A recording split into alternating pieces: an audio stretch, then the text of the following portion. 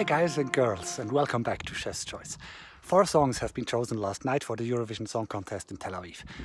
I'm shooting all these videos in a row, so I'm not sure what the sound quality is like. If you can't hear me well enough in these videos, there are always subtitles that you can turn on. I'm sure that will help. In this video I'll be talking about Slovenia, but you find my reviews about Estonia, Croatia and Latvia up here if you're interested. As always, this is just my personal opinion.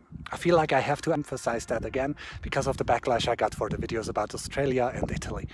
This is just what I think, not necessarily what the majority thinks. So now let's talk about Slovenia that chose Zala Kralj and Gasper Santl with Sebi. I'll start with the positive again. Slovenia clearly took a risk with this song. It's completely different than anything we got so far and probably also than what's still to come. It's in their national language, which is always a positive sign for me, and it's not what Eurovision typically sounds like. It's very minimalistic and there's a melancholy around the song and the performance that makes it interesting. It lives in its own bubble and it's surely something that I will remember. But what is bad? I was excited to see a duet, so I was a bit disappointed that Gasper doesn't sing at all. I think a second voice would give the song a whole other layer that at the moment is missing. The minimalistic style that on one hand makes the song interesting also makes it very monotonous. It's three minutes of the two of them staring at each other and kind of awkwardly holding hands. I guess it would help to understand what they are singing about, but that won't be the case for the vast majority of the viewers. I really appreciate Slovenia taking a risk, but I'm not sure yet whether it, will pay off. So what would I do?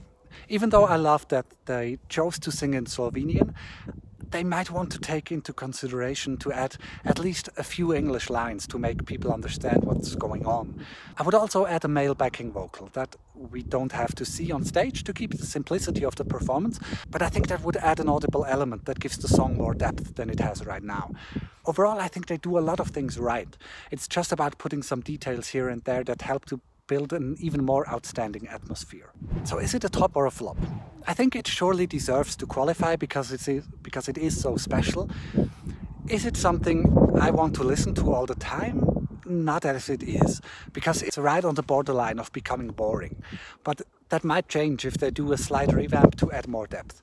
Overall, I'm not sure if the risk will pay off, as long as they don't think about how they could connect more to the viewers at home.